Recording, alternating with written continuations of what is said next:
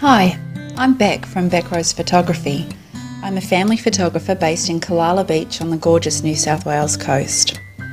I've chosen to specialise in families, in particular, beautiful images with mothers, after I sadly lost my mum in December 2012, 12 weeks after she was diagnosed with an aggressive cancer.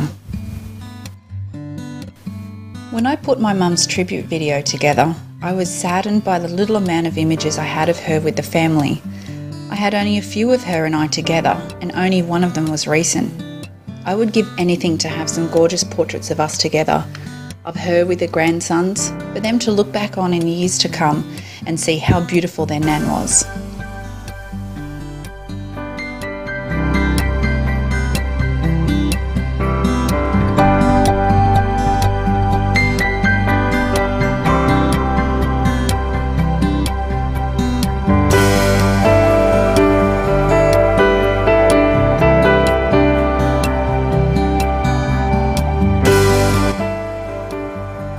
I'm 10 kilos heavier and at least 10 years older than I would like to be.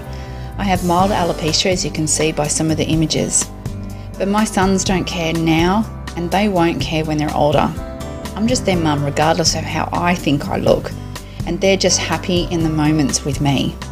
One day, my boys will have these images to cherish, and this makes it worth the time to go out of my comfort zone.